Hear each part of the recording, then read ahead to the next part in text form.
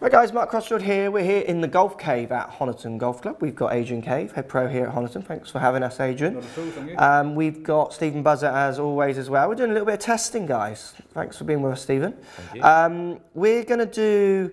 We're going to talk a little bit about effective sweet spot. Yeah, indeed. It's a funny. What is that? It is exactly. So we're going to talk about what is a centered strike and how a centered strike can change on the face. I've been doing a few social posts around this recently, and some people have really kind of had quite interesting, almost eureka moments, and lots of people are just like, what is he on about? I mean, how can a sweet spot move on a club? So we're going to talk a little bit about when a centre hit might be a centre hit or not, subject to how you deliver the golf club. Uh, we're going to use GC2 uh, in the golf cave here, which Adrian uh, fits with and teaches in here, don't you? So it's a great facility to show you some data around how we deliver the club and what we feel when where we strike the ball on the face um, when we're delivering from some different angles. Yeah, let's get stuck in.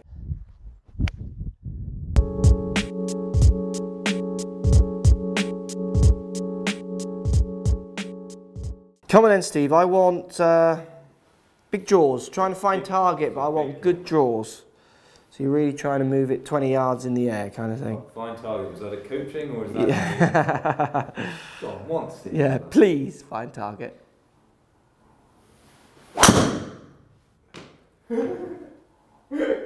Where'd you hit that? That felt toe. No, it was high toe. So it's a miss hit. It was. It was a miss hit. It was a buzzer wild one. It was a. Your face was, uh, yeah. It was less hit another one. Yeah. Go on then again. A value for money shot. That's a lovely high draw. What is interesting though is that you did get it very high toey. Yeah. So you are So trying that- to move strike. Yes. What was that path? Uh, 11 from the inside. Yeah. So a bit violent. So it was strike that let you down. That's turning, so you've turned it too much, but you've got the desired turn that I would like to see. Where'd you strike that? Again, it was toe bound. It didn't feel as bad as the previous one. No, it wasn't. It was 10 millimetres toe, 16 millimetres high. Go on again.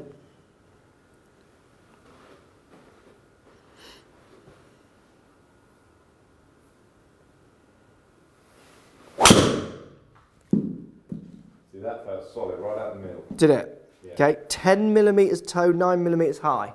Yeah. So yes, effective, solid. Yeah. So not the geometric middle, but the the effective CG is being moved out towards that toe, and you can feel that. Yeah. So, and what were we saying? So, what was that path? That was nine or ten from the inside. Ten from the inside. So let's flip it then. Let's go. Uh, I want uh like big fades onto target. Big fades. Starting left, cutting back to target. Bear with me one second. Go for it. And I want to know where you feel you struck it. See, that felt low in the heel. It was very. That's a miss hit, low in the heel. Okay, and again, massive difference in strike. You would never get that contradiction in strike if you were playing stock shots. Yes. So two things to bear in mind now. Obviously, we're taking you slightly out of your comfort zone because you're trying to shape the ball more than you normally would. Yeah. But you're also, I think, actively trying to find the the effective CG. You're you're trying to find it. And obviously, with the knowledge that you've got now, that's a good one. How did you hit that? That felt middle. Okay, that's seven millimeters heel, three millimeters high. Yeah. So I would say that is effective middle. That felt as, you mean as good as You could hit it. I'm capable. Yeah, yeah, well, that's good, isn't it? But look, I mean, we'll, we'll stop it there and I'll do some. It's quite interesting how your strikes go all the way to the toe when you're trying to draw it, and then all the way to the heel when you're trying to hit that cut. So obviously you've got knowledge now. I don't think you're using that knowledge to try and actively find those spots. You're, norm, you're just using your feel for start direction and striking a shot.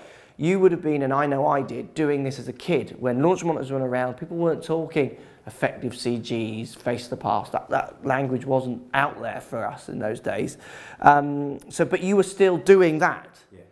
So it makes me think: Do we swing the club head, or do we actively f- swing the effective CG? Now, I strongly believe I swing the effective CG, and I can't even articulate almost how I do it. But I see amateurs who I teach, and you will as well, Yeah. where they they're not swing. They can't. I don't know if feel's the right word. I don't know if the natural forces that are pulling on that club allows them not to feel control, but they're not swinging efficient, No. uh, uh, uh, effective CGs, or have no comprehension of where that is in relationship to they've struck to the shot they're hitting.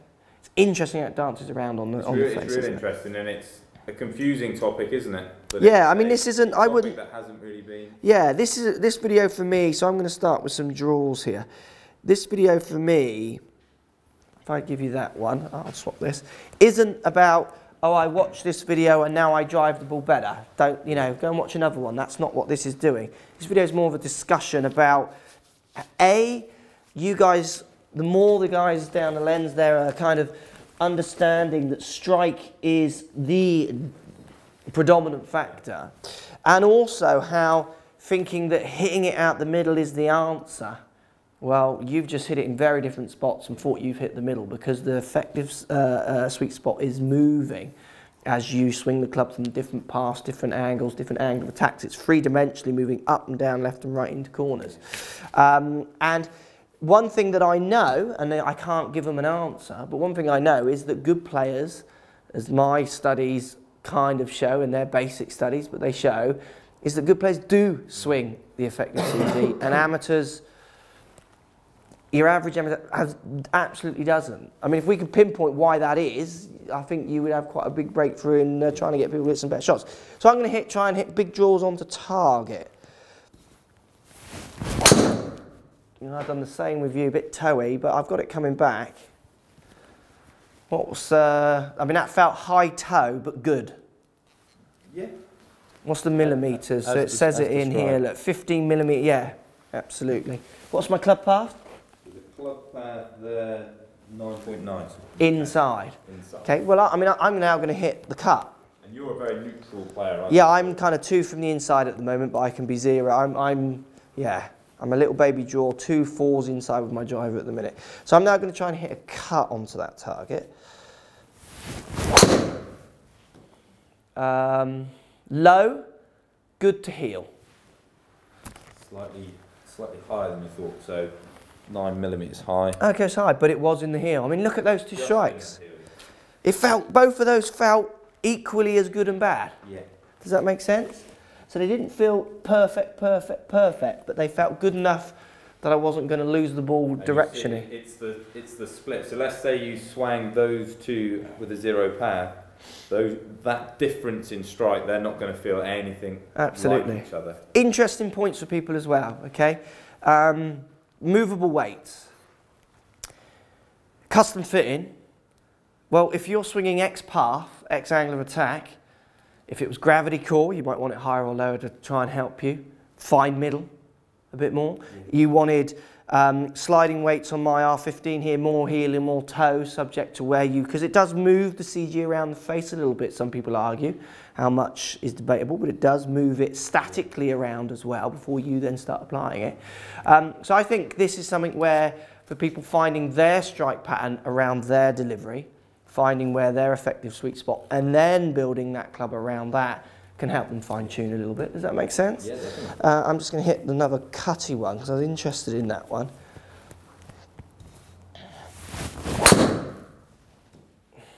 High. Can't tell the strike. It was. It felt high, maybe toey. See, that's interesting because it is high, but look, that one is Centered. centered. Well, it's five millimeters toe, but it's more. I mean, it's 17 millimeters high. It felt much more toey. Um, interesting, interesting, good stuff. Let's um, let's see what Adrian makes of it.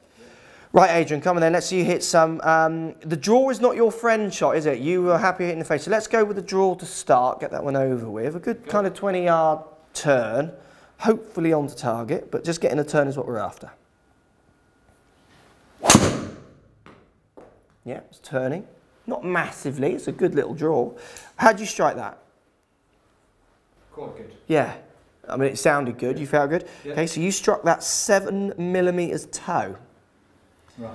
but obviously you're path was six to the outside, it was six to the right, and the face was close to that path. So that is going to feel like the effective Good. sweet spot.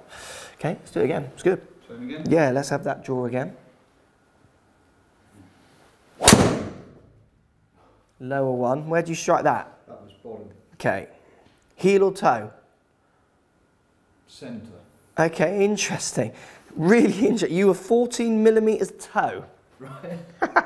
Um, swinging five from the inside, five millimeters low. Yeah. Both of those were geometric toe. Um, one of them felt fantastic. The other one didn't feel good, more from the lowness through your feeling of where you hit it. But they were both out towards the toe. So let me just change your data here. Then let's go to your friendlier shot. Let's do a nice cut, quite a heavy fade onto target. And again, we'll ask where you feel you've struck it. When you're ready.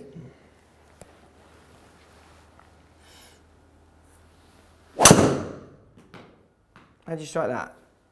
That felt a bit toey. Yeah, it was. That was Terry. So you would class that more of a miss hit? Yeah. yeah, wasn't- absolutely. You get it. So that was 20 millimetres toe. You were nine across, so very good numbers for your cutty. The other thing as well is your three down, hitting that 20 millimetres toe and 11 millimetres high. So I feel way away. You want it to be hitting it in the heel and a bit lower Yeah. with those delivery numbers to find that effective sweet spot.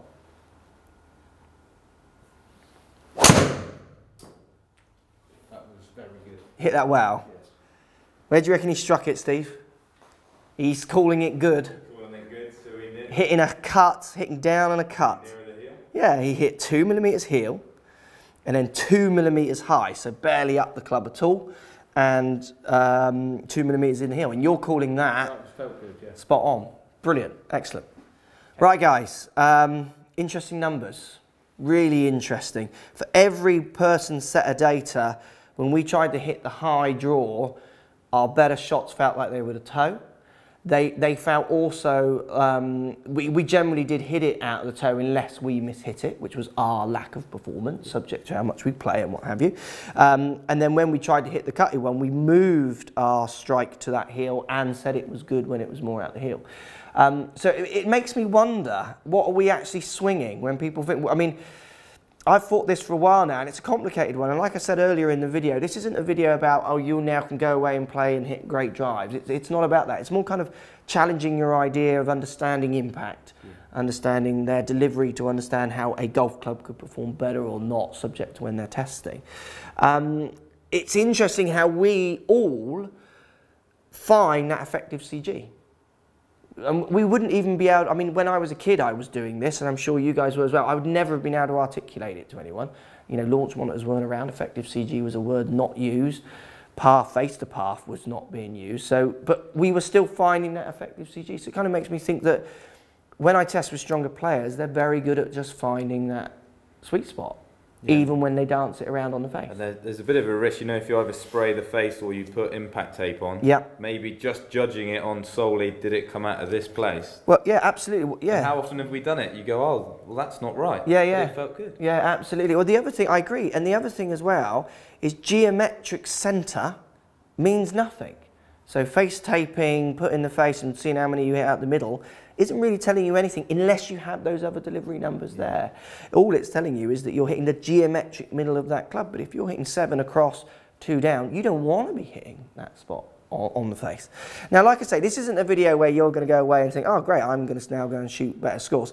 It's more kind of a challenge of your understanding of impact and what you should and shouldn't be looking for in fits and trying to understand impact as much as possible to trying to get them to play a bit more kind of better golf in the long run when they look at their deliveries. Interesting stuff. Thanks, Adrian, for your time. Thanks, Stephen, as always.